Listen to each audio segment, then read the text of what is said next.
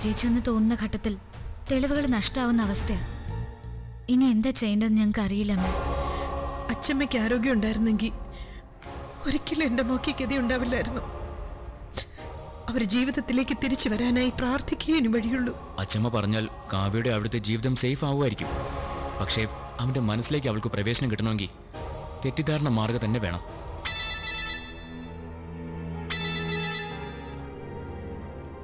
എന്തായി? ആ നമ്പറിനെ കുറിച്ച് എന്തെങ്കിലും വിവരം കിട്ടിയോ?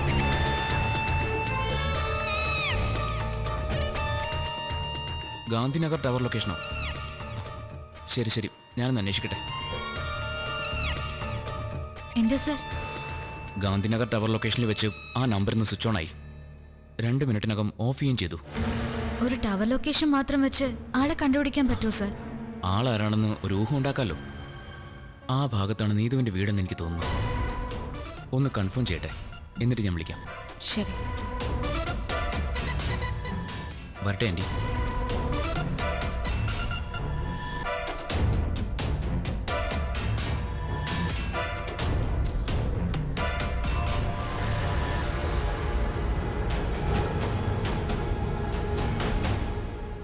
അച്ചമ്മയ്ക്ക് വീണ്ടും വന്നത് ഒരു മാസീവ് അറ്റാക്ക് ആയിരുന്നു.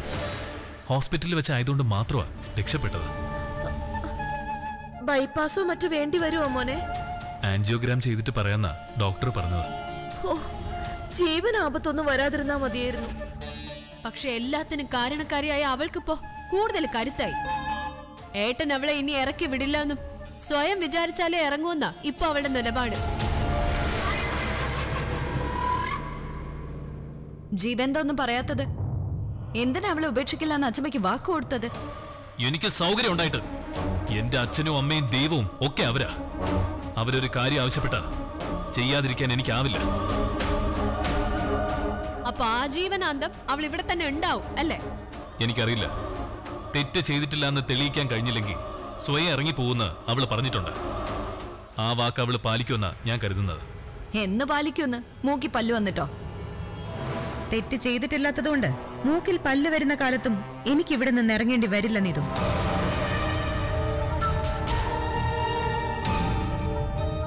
എന്തോ സി ഡി നിന്റെ കയ്യിലുണ്ടെന്നല്ലേ പറഞ്ഞത്? എവിടെ അത്? സി ഡി കാണിക്കാം. പക്ഷെ അതിനു മുൻപ് ആ സി ഡിക്കായി ഇവിടെ നടന്ന പരാക്രമം കൂടി നിങ്ങൾ അറിയണം.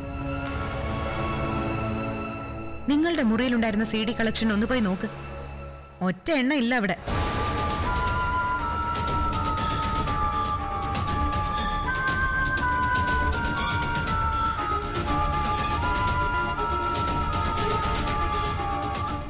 കൂട്ടത്തിൽ ഞാൻ എന്റെ തെളിവ് ഒളിപ്പിച്ചിട്ടുണ്ടെന്ന് കരുതി ചില തൽപര കക്ഷികൾ അതെല്ലാം ഇവിടെ നിന്ന് കടത്തി.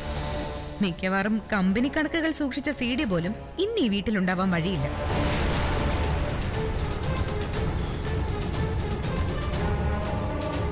അതിന്റെ അർത്ഥം എന്താ? എന്റെ കയ്യിലുള്ള തെളിവ് സ്ട്രോങ് ആണെന്ന് ഇവർക്ക് അറിയാവുന്നല്ലേ ജീവയുടെ റൂമിലിരുന്ന സി ഡി ഒക്കെ കോപ്പി ചെയ്യാൻ വേണ്ടി ശിവാനി എനിക്കെടുത്ത് തന്നതാ. വെറുതെ ഇരിക്കുമ്പോ ടൈം പാസിന് കാണാലോ എന്ന് വിചാരിച്ചു. കുറെ സി ഡി പോയതല്ലല്ലോ ഇവിടുത്തെ വിഷയം. ആ തെളിവ് ജീവമോനെ കാണിക്കാന്നുള്ളതല്ലേ? അതെ. സി ഡി ഞാൻ ഉടനെ ഇവിടെ എത്തിക്കാം.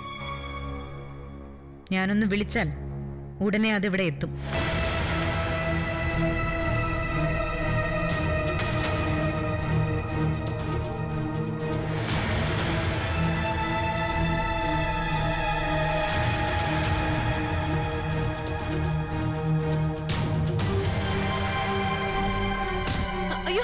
നീതു നീതു നീതു. നീതു. നീതു നീതു എന്താ മോളെ, പറ്റിയ? നീതു എഴുന്നേക്ക്.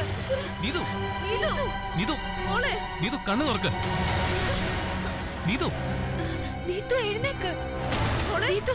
നീതു. നീതു എഴുന്നേക്ക്. വേഗം ഹോസ്പിറ്റലിൽ കൊണ്ടുപോയിട്ടാ. വേഗം എടുക്ക് മോനെ. നീതു.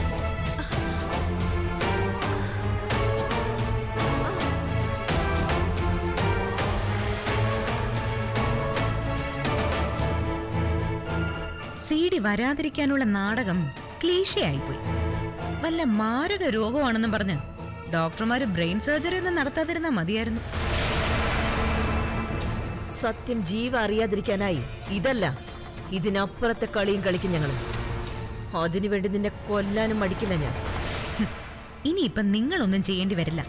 ഹോസ്പിറ്റലിൽ ചെല്ലുമ്പോൾ നീതുവിന് ഒരു കുഴപ്പമില്ലാന്ന് ഡോക്ടർ പറയും. അതോടെ ഈ കുഴഞ്ഞു വീഴ്ച ജീവ സംശയത്തോടെ കാണാൻ തുടങ്ങും.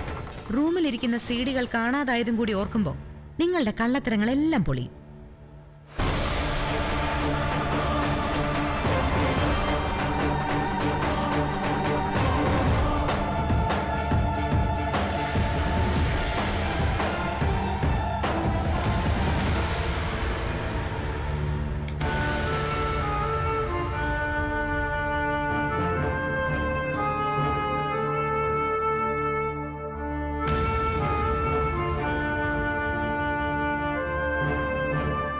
തെളിവുണ്ടാക്കലൊക്കെ മാറ്റി വെച്ചിട്ട് നീ ഉറങ്ങായിരുന്നോ?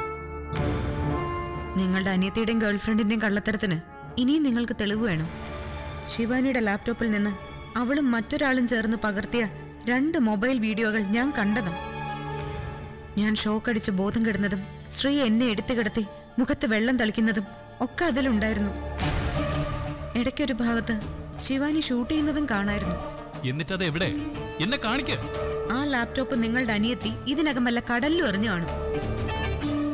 നിന്റെ കയ്യിൽ സി ഡി ഉണ്ടെന്നല്ലേ നീ അവകാശപ്പെട്ടത്? അതും ശിവാനി കടലിലെറിഞ്ഞോ? സി ഡി ഉണ്ടെന്ന് ഞാൻ വെറുതെ പറഞ്ഞത്. സി ഡി ഉണ്ടെന്നറിഞ്ഞപ്പോ ശിവാനിയുടെയും നീതുവിന്റെയും ഇളയമ്മയുടെയും പരിഭ്രമം നിങ്ങൾ ശ്രദ്ധിച്ചില്ലേ? ഈ വീട്ടിലുള്ള സി ഡി മുഴുവൻ അവൾ തൂത്തുപെറുക്കി ഇവിടുന്ന് മാറ്റിയില്ലേ? സി ഡി വരുമെന്ന് കേട്ടപ്പോ ഒരാളിവിടെ കുഴഞ്ഞു വീണല്ലോ. എന്തായിരുന്നു അവളുടെ അസുഖം? പ്രത്യേകിച്ച് കുഴപ്പങ്ങളൊന്നും കണ്ടില്ലെന്നാ ഡോക്ടർ പറഞ്ഞത്. ആ കുഴഞ്ഞ വീടൽ ഒരു നാടകമായിരുന്നു എന്ന് നിങ്ങൾക്ക് ഇനിയും മനസ്സിലായിട്ടില്ലെങ്കിൽ എനിക്കൊന്നും പറയാനില്ല. എന്റെ കയ്യിലുണ്ടെന്ന് പറയുന്ന സി ഡി അവർ ഭയക്കുന്നുണ്ട്. അതിലൂടെ എന്റെ നിരപരാധിത്വം തെളിയാതിരിക്കാനായി പല നാടകങ്ങളും അവർ കളിക്കുന്നുണ്ട്. അതിലൊന്നും നിങ്ങൾക്ക് സംശയമേ ഇല്ല. അതിനെക്കുറിച്ച് രണ്ടാമതൊന്നും ആലോചിക്കുന്നത് പോലുമില്ല. എന്നിട്ടും ഞാൻ ചതിച്ചു എന്ന് ഇപ്പോഴും വിശ്വസിക്കുന്നു. എന്റെ ഭാഗത്ത് നിന്നൊന്ന് ചിന്തിക്കാൻ പോലും തയ്യാറാവുന്നില്ലല്ലോ കണ്ണേട്ട. ഒന്ന് ആലോചിക്ക് ഞാൻ തെറ്റുകാരിയാണെന്ന് തുടർന്നും വിശ്വസിക്കാനാണ് തീരുമാനമെങ്കിൽ നാളെ തന്നെ ഞാൻ ഒഴിഞ്ഞു തരാം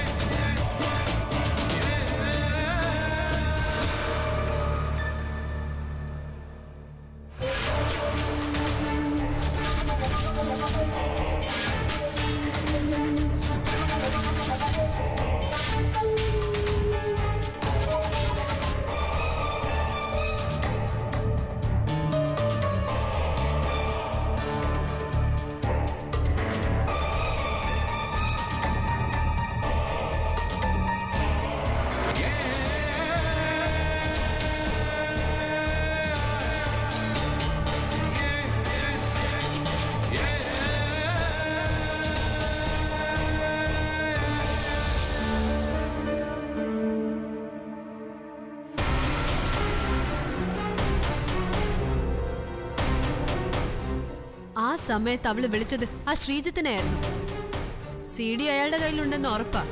അയാളെ കൊന്നിട്ടായാലും രാത്രി തന്നെ സി ഡി കണ്ടെത്തണം.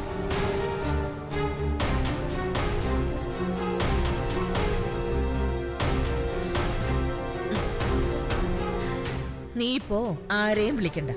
വിളിക്കണ്ടെന്നോ? നാളെ രാവിലെ എന്റെ കള്ളി വെളിച്ചത്തായ അമ്മയ്ക്ക് പിന്നെ ഈ വീട്ടിലെ സ്ഥാനം ഉണ്ടാവില്ല. നാളെ ഇവിടെ ഒന്നും സംഭവിക്കാൻ പോകുന്നില്ല. ആദ്യം അവൾ നിന്നോട് പറഞ്ഞു സി ഡി ഈ വീട്ടിലുണ്ടെന്ന്.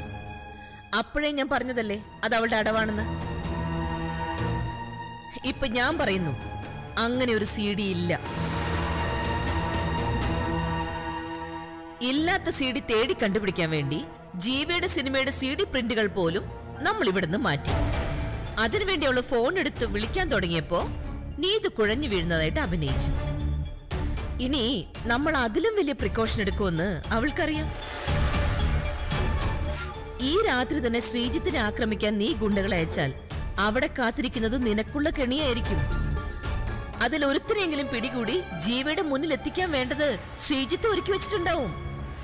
സാഹചര്യ തെളിവുകളുടെ അടിസ്ഥാനത്തിൽ ഇപ്പൊ തന്നെ ജീവ നിന്നെയും നീതുവിനെയും സംശയിച്ചു തുടങ്ങിയിട്ടുണ്ടാവും. കുഴഞ്ഞു വീണ നീതുവിന് ഒരു കുഴപ്പമില്ലെന്ന് ഡോക്ടർ ജീവിയോട് പറഞ്ഞത് നീ മറന്നോ? ആ നിമിഷം മുതൽ ജീവ ഒരു റീത്തിങ് തുടങ്ങിയിരിക്കുന്നുള്ളത് ഉറപ്പാ മോളെ. അങ്ങനെയാണെങ്കിൽ അടുത്ത സ്റ്റെപ്പ് ഒരു മുഴം മുമ്പേ. എന്താ നിന്റെ പ്ലാൻ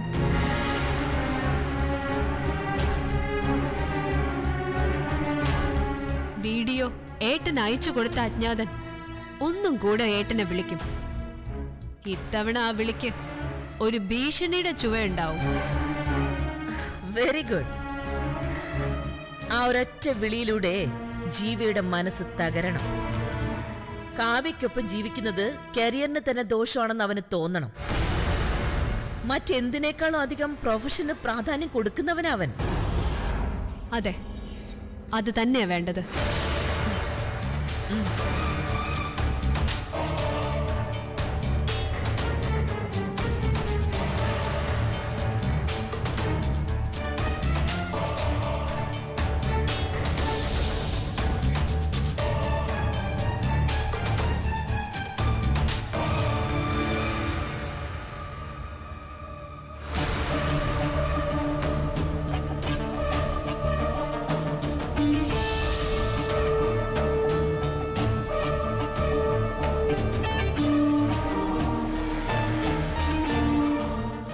ഡി ഞാൻ ഉടനെ ഇവിടെ എത്തിക്കാം.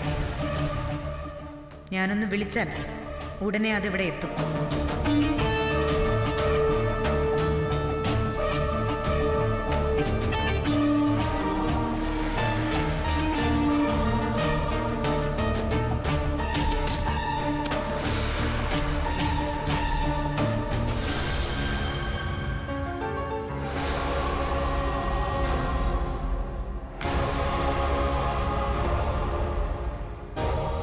കുഴഞ്ഞ വീടൽ ഒരു നാടകമായിരുന്നു എന്ന് നിങ്ങൾക്ക് ഇനിയും മനസ്സിലായിട്ടില്ലെങ്കിൽ എനിക്കൊന്നും പറയാനില്ല.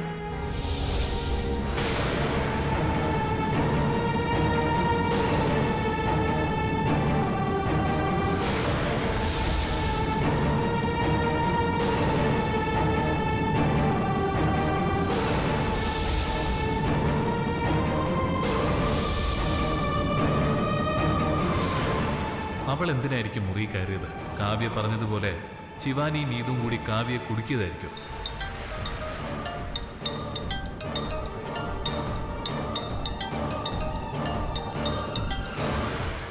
ഞാൻ നിങ്ങൾ എത്ര പ്രാവശ്യം വിളിച്ചെന്നറിയോ?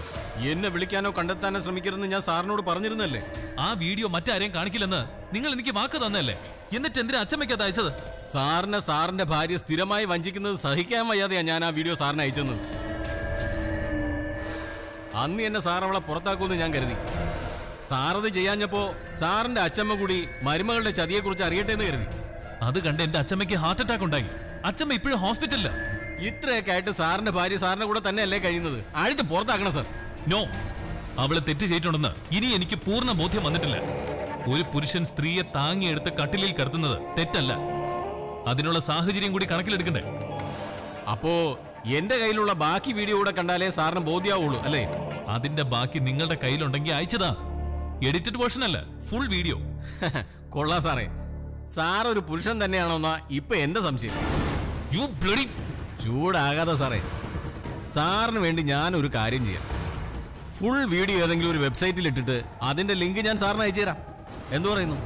നോ വേണ്ട. സാറും സാറിന്റെ ഭാര്യയും തമ്മിലുള്ള ചായപ്പൊടിയുടെ പരസ്യവും എന്റെ കയ്യിലുള്ള വീഡിയോയും കൂടെ ചേർത്ത് ഇന്റർനെറ്റിൽ ഇട്ടാൽ ലക്ഷക്കണക്കിന് രൂപ അക്കൗണ്ടിൽ വന്ന് വീഴും. സാറിന് അറിയാമോ? പ്ലീസ്. അങ്ങനെയൊന്നും ചെയ്യരുത്. എന്നെ കൊണ്ട് അങ്ങനെയൊന്നും ചെയ്യിക്കരുതെന്നേ എനിക്ക് സാറിനോട് പറയാനുള്ളൂ. ഞങ്ങളുടെ ചങ്ക സാറ്. സാറിന് ഭാര്യ ചതിച്ചുകൊണ്ടിരിക്കുന്നത് ഇനിയും സഹിക്കാൻ വയ്യ.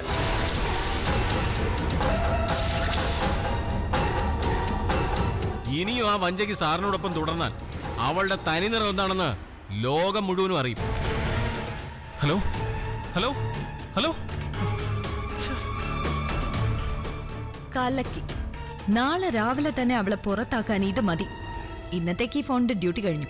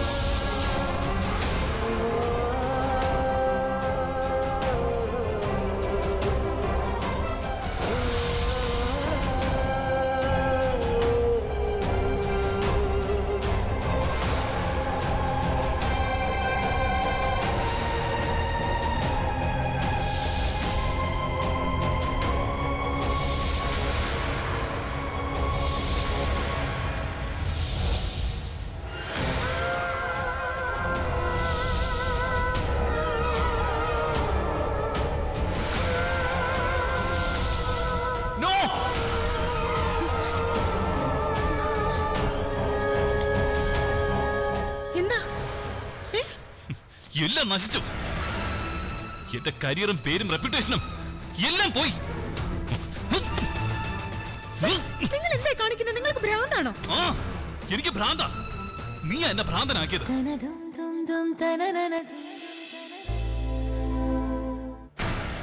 എന്റെ കരിയറും പേരും റെപ്യൂട്ടേഷനും എല്ലാം പോയി. നിങ്ങൾ എന്താ കാണിക്കുന്നത് നിങ്ങൾക്ക് ഭ്രാന്താണോ? ആ എനിക്ക് ഭ്രാന്താ. നീ എന്നെ ഭ്രാന്തനാക്കിയത്. നിങ്ങളുടെ അനിയത്തിയും ഗേൾഫ്രണ്ടും ചെയ്തതൊക്കെ കണ്ടിട്ടും നിങ്ങൾക്ക് എന്നെ വിശ്വാസമായില്ലേ? നിങ്ങൾ നേരത്തെ വാഷ്റൂമിലായിരുന്നപ്പോ പോലും ശിവാനി ഇവിടെ വന്നിരുന്നു. അവൾ എന്റെ ഫോൺ പരിശോധിച്ചു. എനിക്കിനി ഒന്നും കേൾക്കണ്ട. നീ തെറ്റുകാരി ആണെങ്കിലും അല്ലെങ്കിലും നീയും നിന്റെ കാമുകനും ചേർന്നുള്ള ഒരു വീഡിയോ ഉണ്ടായി. ആ വീഡിയോ ലീക്കായാൽ അതോടെ എന്റെ കരിയർ തീർന്നു. പിന്നെ ഞാൻ ജീവിച്ചിരിക്കുന്നതിൽ ഒരർത്ഥവുമില്ല. എന്നെ സ്നേഹിച്ചവർ എന്നെ ആരാധിച്ചവർ പരിഹാസത്തോടെ എന്നെ നോക്കാൻ തുടങ്ങുന്നതിന് മുമ്പ് ഞാൻ സൂയിസൈഡ് ചെയ്യും. നിന്റെ കൺമുന്നിൽ വെച്ച് തന്നെ. എന്റെ മരണം കൊണ്ടെങ്കിലും നീ സമാധാനിക്ക. അത് കഴിഞ്ഞാലെങ്കിലും ഇവിടുന്ന് പോ.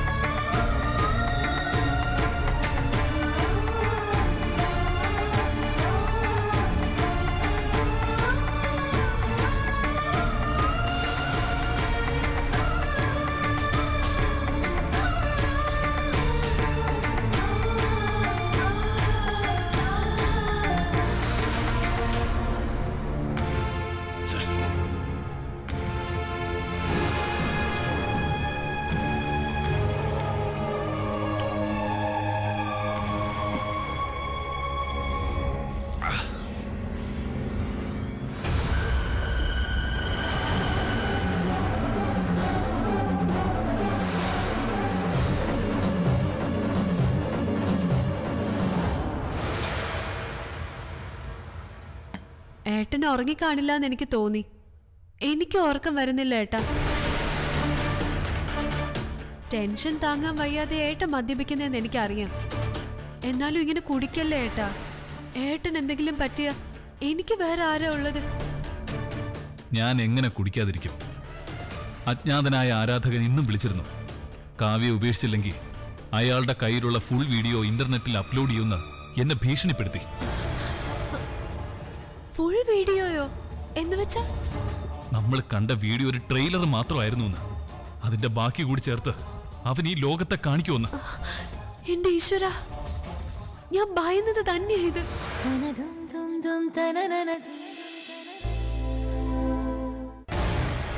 ഫുൾ വീഡിയോയോ എന്ന് വെച്ചാ?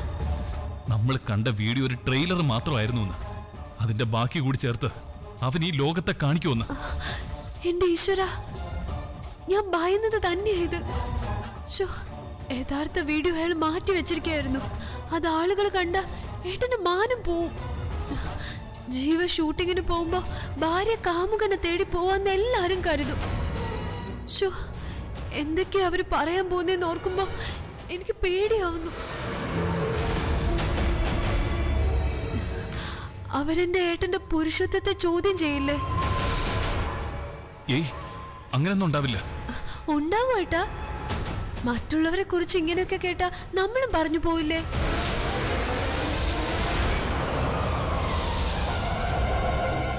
ആളുകളുടെ വായടപ്പിക്കാൻ നമുക്ക് പറ്റുമോ അവർ പരിഹസിക്കും. ലക്ഷക്കണക്കിന് പെൺകുട്ടികൾ സ്വപ്നം കാണുന്ന ഏട്ടന്റെ ഭാര്യയുടെ സ്വപ്നത്തിൽ മറ്റൊരാളാണെന്ന് അറിഞ്ഞ ആരെ കളിയാക്കാതിരിക്കുക ഈ നിലയിലെത്താൻ ഏട്ടൻ എത്രമാത്രം കഷ്ടപ്പെട്ടിട്ടുണ്ടെന്ന് എനിക്കറിയാം. ഒക്കെ നശിക്കാൻ പോവുക. യൂത്ത് ഐക്കൺ ജീവയുടെ മാജിക് ആരാധകരിലും നടക്കും. സ്വന്തം ഭാര്യയുടെ അടുത്ത് നടക്കില്ലെന്ന് എല്ലാരും പറയും. അവൾ നിലയ്ക്ക് നിർത്താൻ ഏട്ടന് കഴിയുന്നില്ല എന്ന് കുറ്റപ്പെടുത്തും.